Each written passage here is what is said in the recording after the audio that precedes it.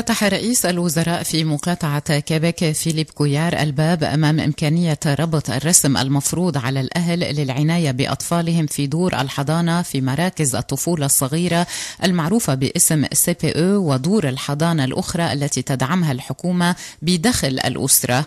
وأشار كويار إلى أن لا أحد سيعترض على فرض رسم بقيمة 10 دولار على سبيل المثال لمن يتقاضى دخلا سنويا مرتفعا. وبأنه وبواسطة هذه الوسيلة فإن الزيادة على رسوم الحضانة لن تحدث صدمة في أوساط الأهل لأن الصعوبة في تسديد رسوم حضانة أكثر ارتفاعا تكمن في أوساط الطبقة الوسطى والأسر المحدودة الدخل. وأوضح رئيس الوزراء كلامه مشيرا إلى أن الحكومة لن تتخذ أي قرار متسرع بهذا الصدد وبأن فكرة ربط الزيادة بمدخول الأسرة ستكون مطروحة على طاولة بحث لجنة المالية التي ستعكف على دراسة الملف في غضون الأشهر المقبلة. أثارت عودة النائبة جولي بولي إلى الجمعية الوطنية جدلا بسبب تصرفات لا ترقى إلى منصبها في البرلمان. فقد أومت بولي بيدها بحركة غير مشرفة باتجاه نواب المعارضة الرسمية الممثلة بالحزب الكيبيكي في أعقاب طرح النائب عن دائرة فيرشير ستيفان بيرجرون سؤال حول مثولها أمام لجنة شاربونو. واضطرت النائبة الليبرالية إلى تقديم اعتذار لاحقا إنما أصرت على وصف السؤال الذي طرح عليها بأنه مغرض جائر ومهين بحقها. وأكدت بولي أنها تصرفت بطريقة لا إرادية وبأنها تأسف على الحركة التي قامت بها. نعيد التذكير أن بولي عادت أمس الاثنين إلى الجمعية الوطنية بعد أن تغيبت عن افتتاح الدورة البرلمانية الأسبوع الماضي بداعي الحصول على فترة استراحة بعد الاستجواب الذي خضعت له أمام لجنة شاربونو.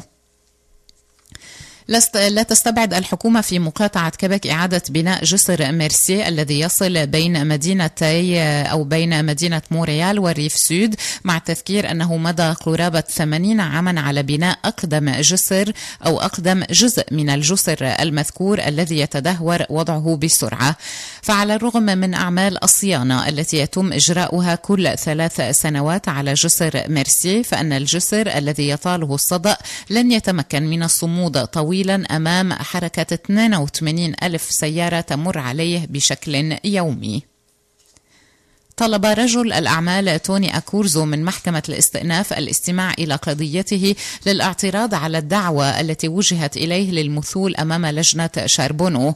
وأوضح محامي أكورزو بأن المحكمة ستعكف على دراسة ملف موكله يوم الخميس المقبل.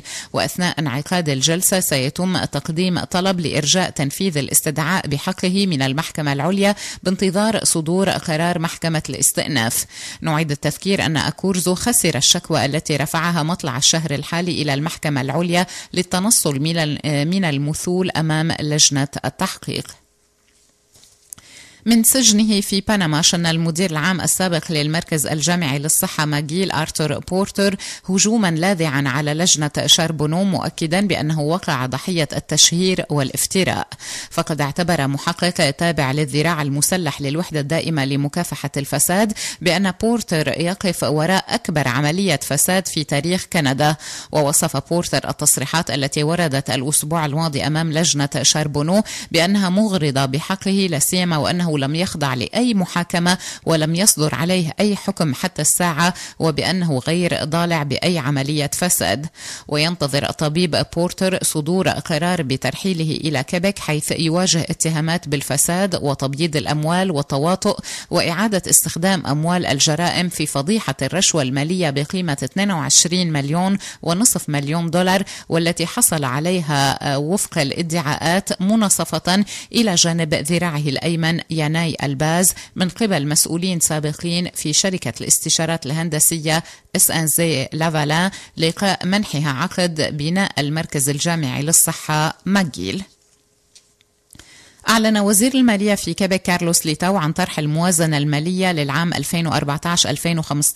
في الرابع من حزيران جوان المقبل عند الساعة الرابعة من بعد الظهر في الجمعية الوطنية. هذا مع التذكير أن الموازنة كانت مرتقبة سابقا في الخامس من حزيران توجه النائب بيير كارل بيلادو أمس الاثنين إلى الجمعية الوطنية على كرسي متحرك إثر تعرضه لحادث على متن دراجته الهوائية أدى إلى استشفائه لمدة أسبوع. وشدد بيلادو في مؤتمر صحفي على رغبته في مباشرة عمله بسرعة في البرلمان وبأنه يعي أهمية الدور الذي يلعبه في صفوف المعارضة الرسمية كناطق بلسان الحزب الكيبيكي عن التنمية الاقتصادية. وأثارت العودة السريعة للنائب بيلادوم مفاجأة في أوساط السياسيين علما أنه خرج من المستشفى يوم الأحد الماضي. وتحدث الأطباء عن إمكانية لجوئه إلى استراحة لمدة ثلاثة أشهر للتعافي من الكسور والإصابات. وبدد النائب الشائعات التي تطرقت إلى إمكانية عدم رغبته في استكمال الولاية النيابية له وبأنه يعتزم الانسحاب من المعترك السياسي. والمعروف أن بيلادو هو من بين الأوفر حظا لخلافة بولين مروى على رأس الحزب الكيبيكي في الخبر الأخير عاد وزير الشؤون البلدية بيير مورو عن تصريحاته التي أدلى بها الأسبوع الماضي فقد تعهد الوزير وإلى جانب الحكومة الفيدرالية في أوتاوا وبلدية لاك ميغانتيك وشركة Fortress التي قامت بشراء شركة Montreal Maine and Atlantic بإجراء دراسة حول إمكانية تحويل مسار خط السكك الحديدية للالتفاف على وسط بلدة لاك ميغانتيك حيث سيتم تخصيص مبلغ مليونين ونصف مليون دولار إجراء الدراسة المذكورة. وتم الإعلان عن إجراء الدراسة بسبب التفاوت الكبير والملحوظ في الكلفة التي توصلت إليها الدراسات السابقة حول هذا الشأن. مع هذا الخبر ينتهي الموجز. نلتقي مجددا على رأس الساعة.